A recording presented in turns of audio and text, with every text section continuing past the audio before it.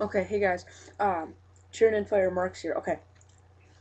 So, I've gotten a lot of great tips from uh, Warhammer 40k and Tyranid players.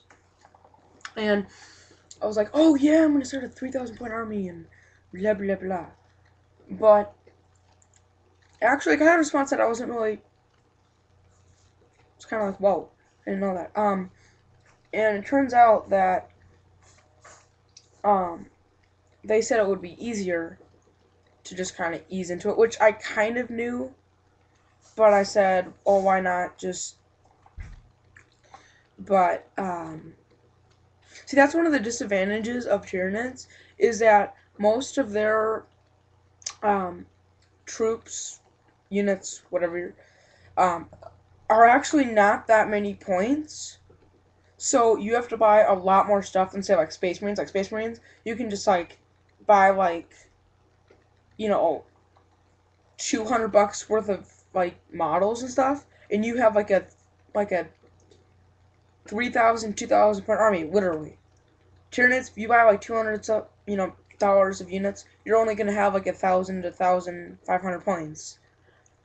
I know that sounds odd, but it's true. So that's the one disadvantage of Tyranids. But they're amazing, so that's why I like them. And they look, the Carnifex just looks amazing. But anyway, um, so I've decided to go with just a thousand point army to start off, um, because I guess you know it's easier. And then second of all, um, I have a couple friends at my school, um, and um, most of them have like Chaos Space Marines, and they only have like a um, they only have chaos. So yeah.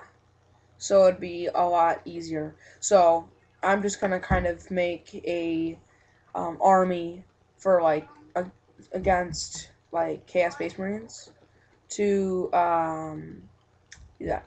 And um, so that's what I'm gonna do.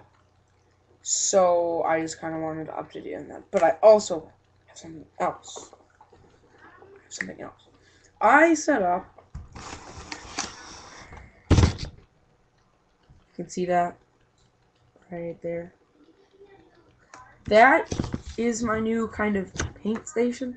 I haven't put out an order for Mini Wargaming yet, but I'm getting set up and I actually I found these like old paints. They're not like Games Workshop. They're like other paints, and I decided to uh, start making some terrain, and this is really cool.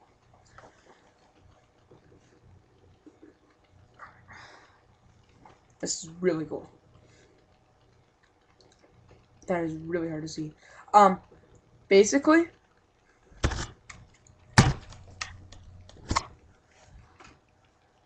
You can see that.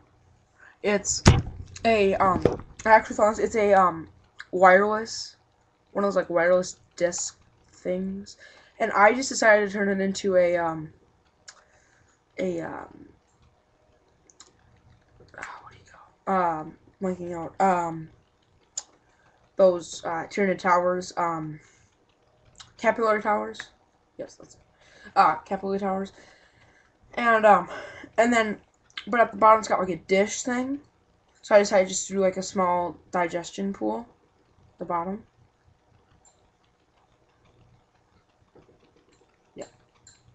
So that's that. Um, and I basically just painted it. It's actually a really nice paint. Like, it's old paint, but it's really nice. Because, it's like, it's not really, really red, but it's pretty red. So, that's, like, the top. That's pretty cool. And then I use cardboard for the base. It's pretty cool. Um, I like it. It's not amazing, but it works. It's okay. Uh, it's definitely good for my first piece of train. So, oh yeah, and then the back. I did it on. I hate cameras. Here we go. I did an orange. That, yeah. Yeah. I know you're gonna say it sucks, but whatever. Um, so yeah. So that's that. I just wanted to show you that. So I'm probably going to get my army in about a month or two. So just because Tyranids cost kind of a lot of money, um, and most of you will disagree with me on that, but I I think they cost a lot of money because their units are not nearly as much as say you know space marines um like Eldar. Eldar are so easy to get into i mean they're kind of hard to paint stuff but and i'm not like a know-it-all you know but